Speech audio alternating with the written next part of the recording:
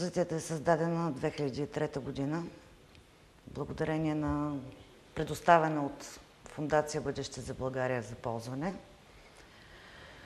Георги Божилов е автор от 60-те до 2001 година, когато почива световно известно име, космополитен художник.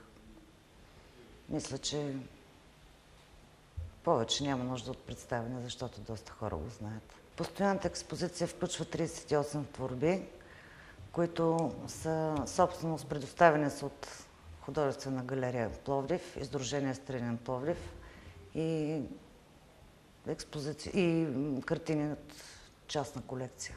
Тази година ще бъде представена Бояна Попова. Тя е млад автор, представя живопис, пейзажи и цветя. Къщата ще бъде отворена, като през това време в нощта на галериите ще тече филм на Коста Биков за Георги Божилов.